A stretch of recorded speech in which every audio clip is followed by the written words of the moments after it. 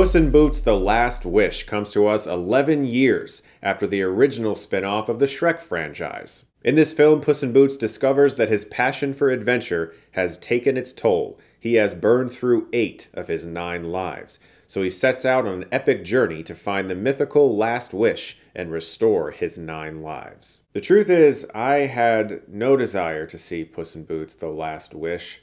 In fact, it was so low on my priority list that I had a screener for this movie like weeks ago sent to me and I just didn't even watch it. Then I had some free time tonight and I decided I wasn't even going to watch the screener.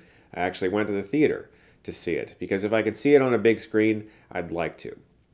I really can't stress enough how much I didn't care to see this movie.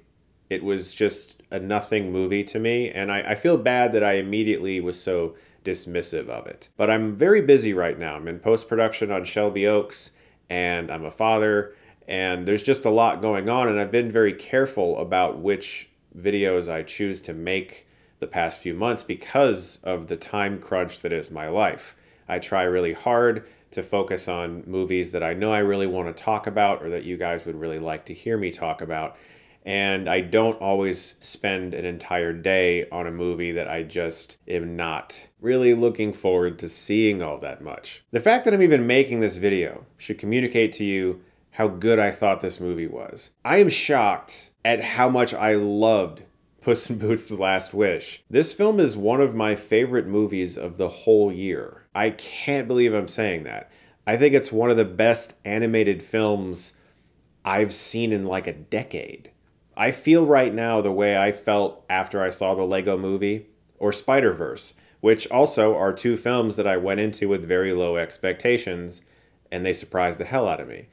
This film is so much better than the first film, which I also enjoyed, but like it, it is staggeringly better in, in every conceivable way. Of course, the animation is obviously better. They've had over a decade to improve it, but they flip between different styles. Sometimes it looks like the classic 3D style that you saw in the original Puss in Boots, but also it will look like Spider Verse or The Bad Guys. It's kind of like an interesting mashup between 2D and 3D, and it's really gorgeous. It's directed pristinely by Joel Crawford the filmmaker behind The Croods 2, and it's edited very well too. There's an incredible opening musical number that sets up the arrogance of Puss in Boots and where he's at, and he doesn't realize he's about to be on his last life.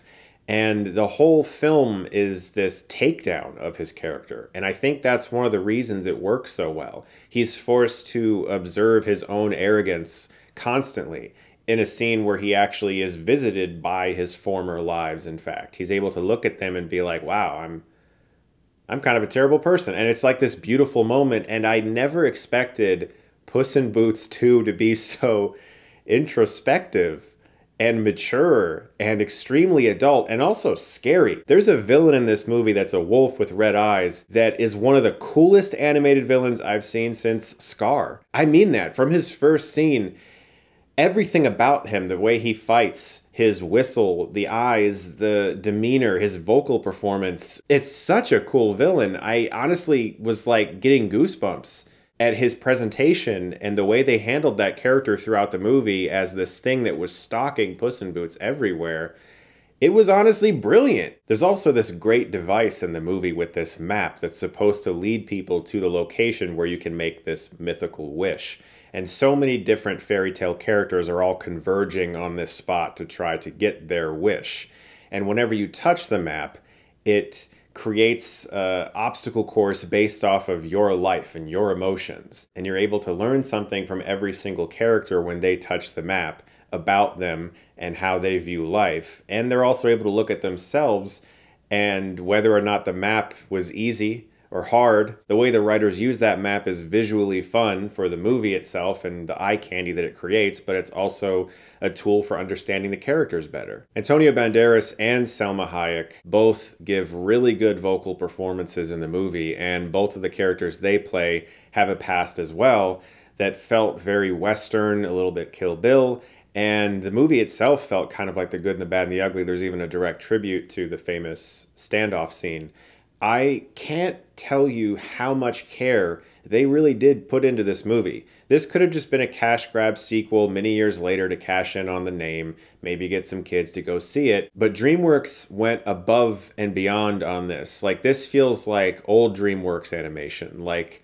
the first time I saw How to Train Your Dragon or even the original Shrek, where it just felt like, oh, like this is competition for Pixar right now. This is really really monumental. Obviously, I love this movie and I think you all should go see it if you missed it because of the winter storm or because, like me, you were just like, whatever.